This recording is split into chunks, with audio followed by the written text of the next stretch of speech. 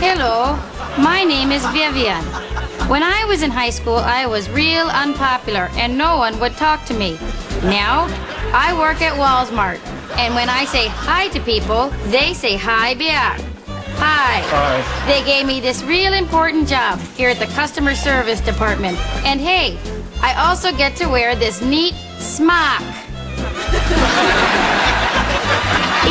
As though every day there are fewer and fewer complaints. I guess that's due to our friendly service, my winning Wallsmart smile, and our low, low prices.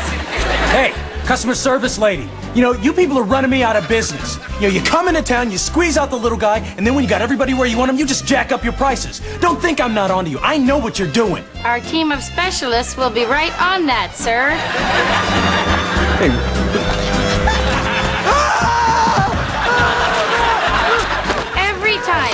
To resolve a complaint, I feel a little better about myself.